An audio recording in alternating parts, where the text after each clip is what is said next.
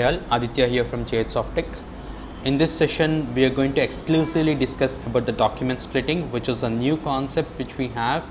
It's been introduced uh, in the latest version of SAP, which wasn't there in the previous version. So uh, let's look at ahead about the significance of document splitting, bec- splitting because understanding this concept is very important for us to go ahead with the customization and configurations. Without document splitting in the new GL concept, you will not be able to create a account or you will not be able to post any documents. Okay? So uh, this is something which is a mandatory step uh, uh, which we have to perform after the basic configurations of company code creation chart of accounts uh, and assigning company code to chart of accounts all these steps okay? Uh, all these steps have to be finished and then at the end we have to do the document splitting. So uh, we need to understand in clear what exactly is document splitting. Document splitting is a function of new general ledger accounting you can use document splitting to automatically split line items to items for uh, selected dimensions such as receivable lines by profit center. So what are we doing is we are segregating the accounts based on a particular criteria. And we will be able to generate reports at that particular criteria. Here the criteria is profit center. Okay?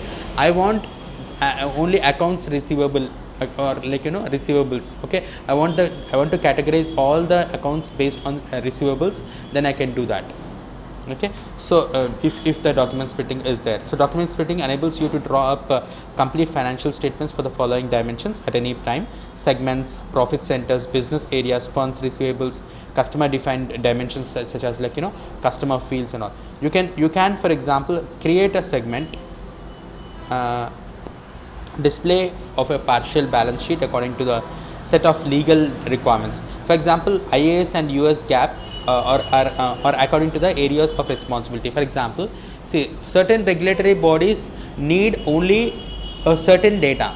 For example, uh, regulatory bodies who want to give the give the uh, uh, you know, access to uh, permission, okay, permission for manufacturing plants need to have only the information about the financial transactions happening at the uh, plant level, manufacturing level. They are not bothered about how much you are spending it for the uh, investments, okay, or how much you are spending it for the uh, greenery of the co- company, or how much you are spending for the welfare of uh, the company or future investments. Future investments that you are planning is no way concerned to the uh, uh, regulatory body who are actually giving the giving the permission for your manufacturing plant to run okay so we can basically segregate the data according to a particular criteria uh, segregate the accounts according to the particular data and then we, will go ahead with that. So here we have classification of business transactions for document splitting document type and document splitting method. So here we have business transaction business transaction variants. We have item category for processing. So document splitting rule. So we'll we'll we'll write a document splitting rule. According to that it will it will segregate the data so we have transfer of postings from application components account interface. So the document is split and then after this document split you can you can see the data and uh, you can see the accounts in a different different uh, categories. Okay. So here we have we are taking an example here. A vendor invoice is entered with the uh, following items. Okay. So where do we create a vendor invoice? Where do we create an vendor invoice f dash 43 okay so here we have a vendor invoice during entry. So we, we are entering these things uh, while entry. And then after the document splitting was uh, applied so it is going to segregate. Like for example like you know uh, this is like 40 and uh, 60 these are the things that we have. And we have now in this document one, uh, 1 and 2 basically the payment to the vendor. Okay these two are the different expenses here okay? So here 40 and 60 is there. And here we are paying uh, both the amounts at a time 100 okay? But after the document is split you are going to get the segment level. Segment level reporting. Segment level reporting means basically this 001 expense is for say one department. And 002 requirement is for another department. Or we can have two plants. Maybe one plant manufacturing we have 01 the segment level. And another plant uh, we have a segment 2 okay? So what happens here is we are making single payment of 100 and we have entered it entered that in the vendor invoice. But if you see at the gl level after splitting how is it going to look? For 40 it is going to give the 40 so payables see expenses according to the expenses it has split the payables. That 100 has become 40 and 60 so it has segregated the 100 rupees into 40 and 60 because those belongs to two different segments. This is what is the concept. You got it this you got this. so now the same thing we are going to do for the payments also. So the payment also we are doing payments okay? This is this is the payment and payment okay? So here we have 001 category 002 category okay? So according to the 001 002 basically this we are not segregating according to any segments. We are just doing the payments. Okay we are doing the making the payments. Now what happens here is bank 01 38 and uh, then we have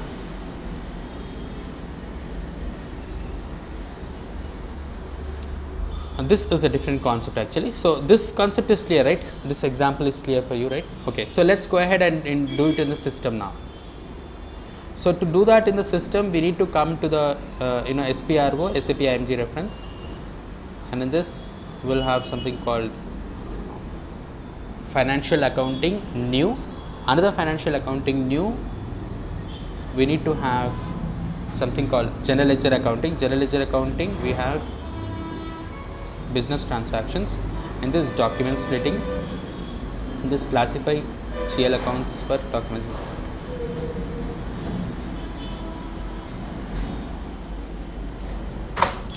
now here we are going to segregate the data or segregate the account numbers. So what are all the account numbers that we are going to use is what we are going to you know understand here.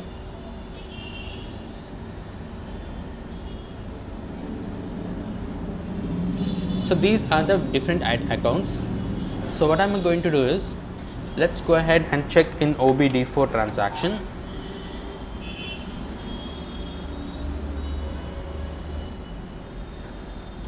so in the obd4 transaction we have something called uh, position vpro so in the vpro we have all these things advance from customer cash and balance balances current liabilities, depreciation, fixed assets, and all these things we have. Sundry liabilities, sundry debtors, salaries. Okay, these are the things that we have. Okay, so now what we are going to do uh, is like you know we are going to have this you know uh, one to one lakh is what we have the balance sheet account. Uh, one lakh uh, 1 lakh 1 to you know 2 lakhs is expenses and uh, 2 lakhs to 3 lakhs is revenue so this is how we are categorizing so let's say all these accounts should come under these ranges. So, from 1 to 3 uh, what do you what do you mean to say 330,000 okay this is all 30,000 right. So, when I say 30,000